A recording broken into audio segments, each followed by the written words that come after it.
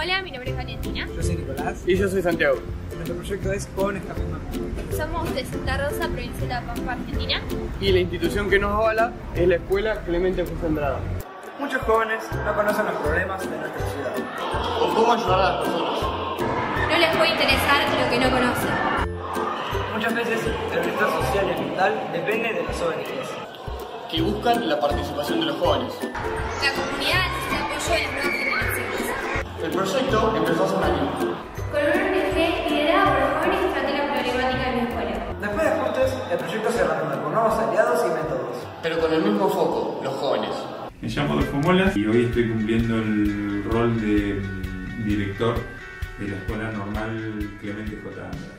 Bueno, tenemos el placer y el honor de acompañar un proyecto que se llama Jóvenes Cambiando el Mundo. Ponemos a disposición todos los recursos este, con que contamos, infraestructura, eh, elementos desde lo tecnológico, docentes y alumnos, como así también el acompañamiento del equipo de gestión. El objetivo es que jóvenes de nuestra escuela conozcan y participen de ONGs de Santa Rosa. Buscamos empoderar y motivar a los jóvenes. Trabajar valores como el compromiso, la solidaridad y la empatía. El principal ODS de nuestro proyecto es educación de calidad. Porque el primer impacto es en jóvenes que quieren conocer sobre su comunidad. También trabajamos con ODS, salud y bienestar y ciudades y comunidades sostenibles. Buscamos ayudar a ONGs con esos objetivos. Mi nombre es Sofía Ruiz, soy profesora de este colegio que acompaño a los chicos de Jóvenes Cambiando al Mundo como tutora. Los chicos propusieron la técnica de ayer que permite un mayor intercambio entre los participantes de la actividad.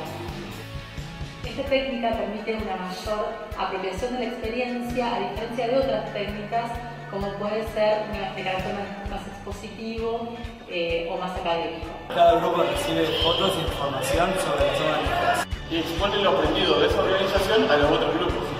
Charlamos sobre las problemáticas que ahora conocemos. Se entrega una pequeña encuesta sobre ayuda comunitaria. Y tenemos un espacio para que compartan lo que ya tienen experiencia. Cada uno cuenta sobre las organizaciones que conoce. Y los problemas comunitarios Al final, los estudiantes evalúan el taller con un formulario corto. Nos sirve para mejorar. y para medir nuestros progresos. Según los formularios, el taller fue interesante y muy bueno. Y también nos dejaron comentarios y sugerencias.